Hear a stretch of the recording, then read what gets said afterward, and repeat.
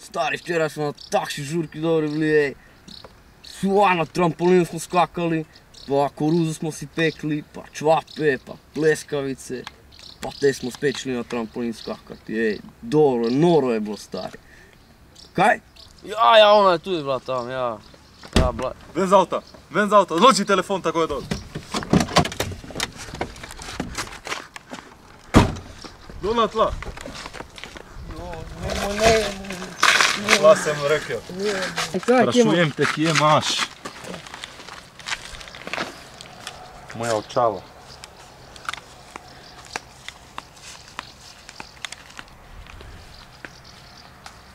Kjer pek me zdaj.